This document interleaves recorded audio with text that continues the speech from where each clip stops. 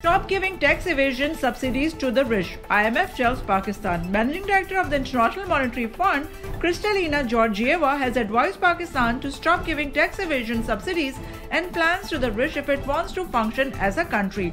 Number one, tax revenues. Those who can, those that are making good money, public sector, private sector, they need to contribute uh, to the economy. And secondly, to have a um, uh, fairer distribution of the uh, uh, pressures by moving subsidies only towards the people who really need it.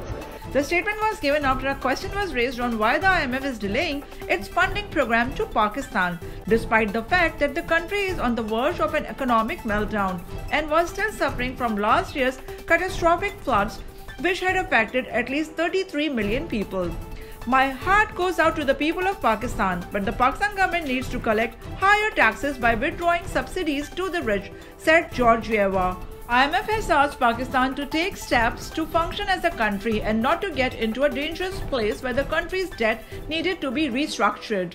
I think this demand is the most suitable expectation, she added. Emphasizing the need for an increase in tax revenue, the IMF chief stated that it has to be the rich sector of the country who contribute to the economy and not be provided with subsidies to get away from paying taxes. Number 1 Tax revenues. Those who can, those that are making good money. Public sector, private sector, they need to contribute to the economy.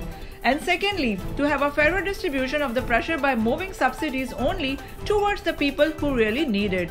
It should not be like the wealthy benefit from subsidies. It should be the poor who benefit from them, she added. The remarks come after Pakistan and the IMF staff concluded the ninth review of the $6.5 billion bailout package without an agreement. To fulfill the precondition of the IMF, Pakistan has agreed to implement the Memorandum of Economic and Financial Policies and has already started taking difficult decisions, including increase in prices of petroleum products, taxes, and in the energy sector.